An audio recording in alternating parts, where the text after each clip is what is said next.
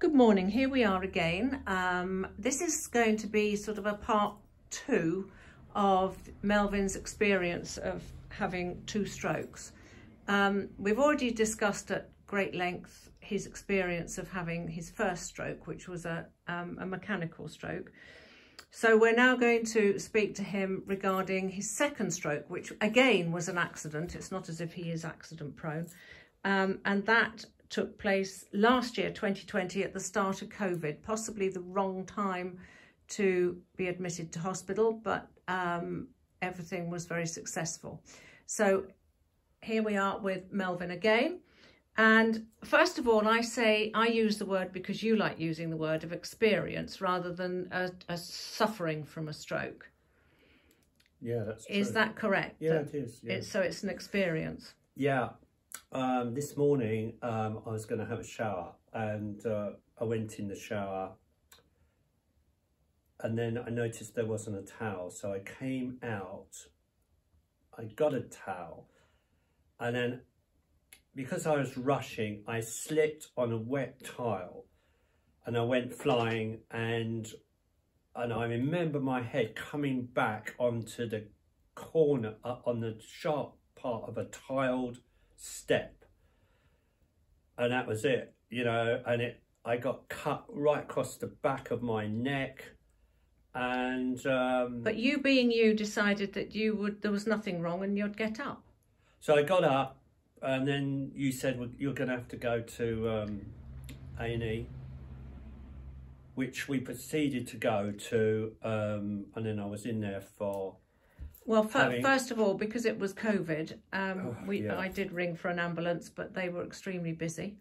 So we decided that we would take you up to the local hospital, uh, accident and emergency, and you were seen there.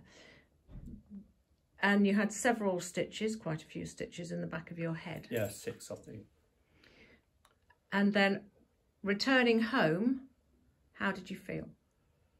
Well, I got on with things, didn't I? And because the weather was fabulous, wasn't it? And um, just get on with fiddling around with things and everything. And then suddenly, you noticed that I was, my foot wasn't right or something. No, I think you had you experienced headaches for about a week. yeah, I had headaches and I felt that um, I was losing it a bit and um, can't remember.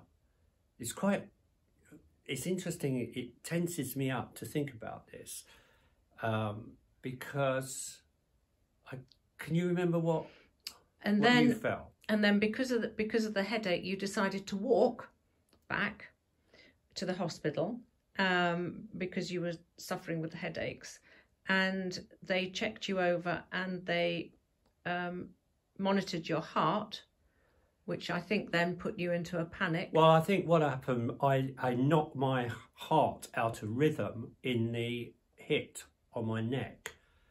And that, they, that, so I think we went up there the, the second time and they spotted this beat drop. And they said, oh, you're going to have to go over to um, Gloucestershire for hospital. And we go, what? Yeah, so we got over there.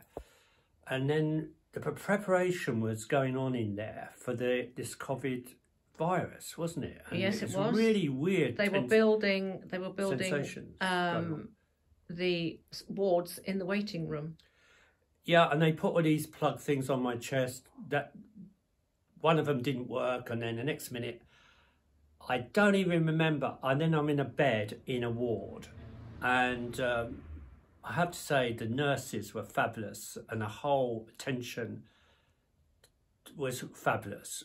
Uh, I watched, but then at this point, you would ring me up, and I go, "Oh, hi, babes." Um, uh, yeah, and that's all I could say. But I, I, I, couldn't- think I think first of all we need to explain how you were admitted. Um, I took you back to Gloucester Hospital, and I noticed that your foot was dropping. Your Yeah. right foot was dropping. So, having experienced the first stroke, I was aware that it could be a, a second stroke due to a bang on the head. So once they had um, diagnosed that it was a bleed on the brain due to the fall, um, you were then admitted. Um, and also you were quite disorientated, Oh, yes. extremely disorientated. Oh, I know. So, and because of COVID 19, you were admitted and without visitors, it was a very strange experience Yeah. because the hospital was actually like a ghost town, believe it or not. Yeah, and in front of me were there was these two guys, older guys, who were paralysed with strokes, being lifted out on cranes and God knows what else. And I just watched all this going on, and um, and then I decided I, I had to go to the loo. So I and then suddenly I couldn't really stand up. So I, I started as I did previously practice walking up and down the ward with very and wobbling and hanging on to things and then this went on for a week and then I think we went on a camera didn't they? They said you you, This you is a, you went and had a CT scan. yeah camera. Um, I had four of those. and and actually you were in a, a, a week. And Yeah. because of the fall in the night um we did think that that would delay you coming home. But i did have quite a struggle to get you home yeah. because of course i was self-isolating because you were due to come home. And and so the hospital the care there was extremely good It was uh, just. I didn't know whether I should wear a mask. They said, no, no, we haven't got a problem up here on the sixth floor, and the virus.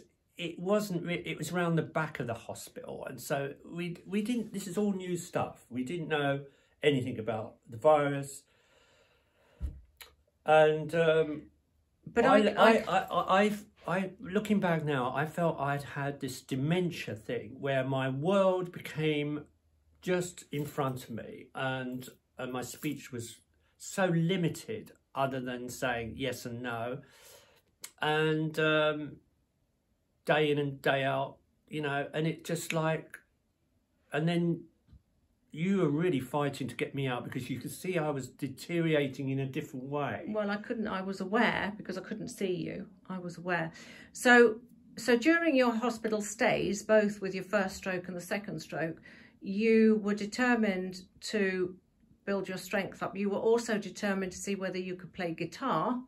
That was during the hospital time and your with your first stroke.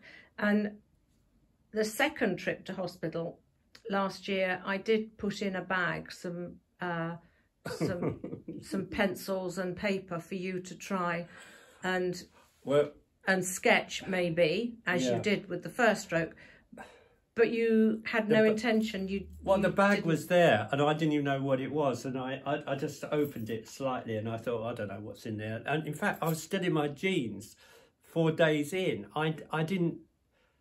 Nobody told me to put pajamas on, and because there's quite a uh, jack of lads coming, uh, what I call um, entertaining people coming in, uh, as a, a words of that effect, and um, they were entertaining.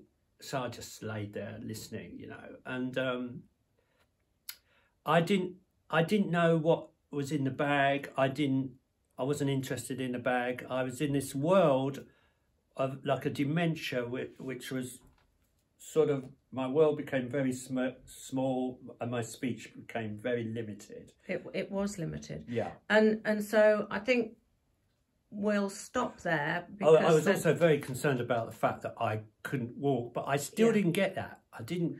I didn't get it. I think we'll stop because then we can cover the fact that that um, possibly uh, coming home was quite difficult because you were unable to walk. Yeah. So we'll we'll give it a pause and you can have a rest. Yeah. Okay. Thank Okay. you. Thank you.